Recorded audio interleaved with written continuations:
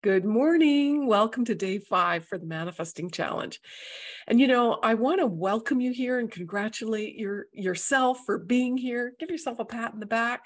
You know, I've been thinking about all the people that I've talked to in the last while and have told me how they always wanted to write a book, but they just kept putting it off, or they wanted to lose weight and they just could not seem to you know break the code. And then there's other people that really wanted to create a relationship but they keep putting it off or making an excuse for one reason or another. And what i've realized and wanted to share is it's not an issue that they would do it because most of the clients i work with are, are, are successful really smart. And it wasn't an issue of them not being able to manifest it. It was an issue of them not being able to have the energetic component or not understanding what's sabotaging them from taking those steps. So it's really an aspect of leadership. It's, it's an aspect of you not being able to take the action or the commitment to yourself. You know, there's three things that are super important in when we come to manifesting. The first thing is the be, then we have to do, and then we can have it. So being a particular vibration, being in alignment, being honest with what it is that you really, really want, right? And then it's taking action towards that one thing that you're looking to create.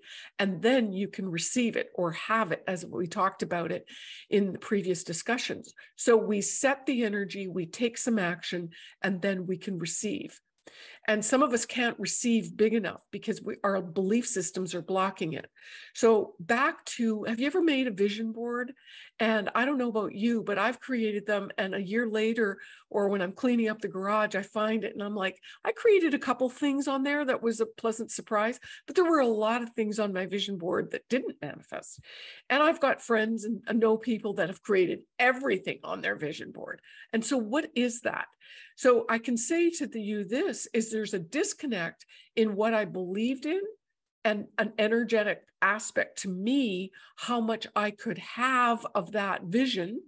It's it's it's an energetic a belief system, uh, a knowingness, a trust in myself, in my vision perhaps. So I was not in alignment with myself in order to be able to create that.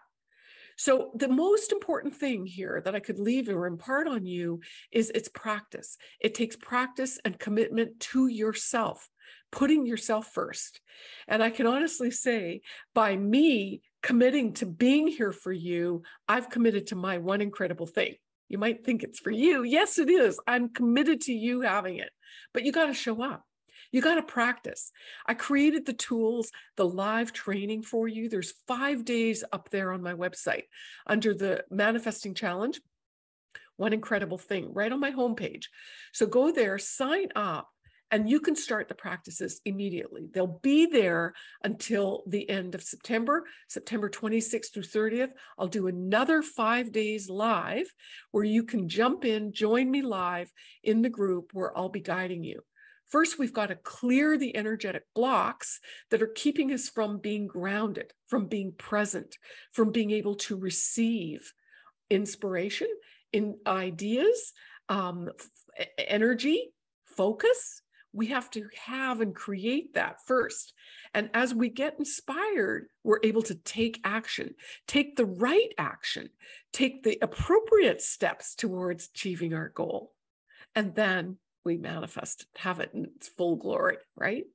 So I invite you to, you know, commit to yourself every single day to give yourself the practice. I do my practice, I find it's best in the morning because I'm more clear, more alert. And it's amazing, you know, Nicola was sharing with me the other day how she tried to do the practices at night and she just kept falling asleep. And so I noticed that's a pretty common thing, unless you're a night owl. And but I'm more fresh and more alert. So when I do it first thing in the morning, I'm more inclined to stick with it throughout my my my set time and with fewer distractions and or my mind's not bouncing around. Oh, go do this, go do that, and don't forget that. So turn off your ringer.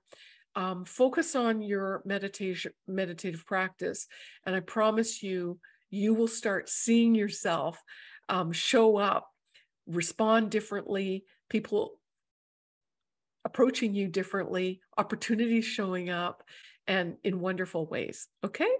So I will um, toast to your manifesting your one incredible thing.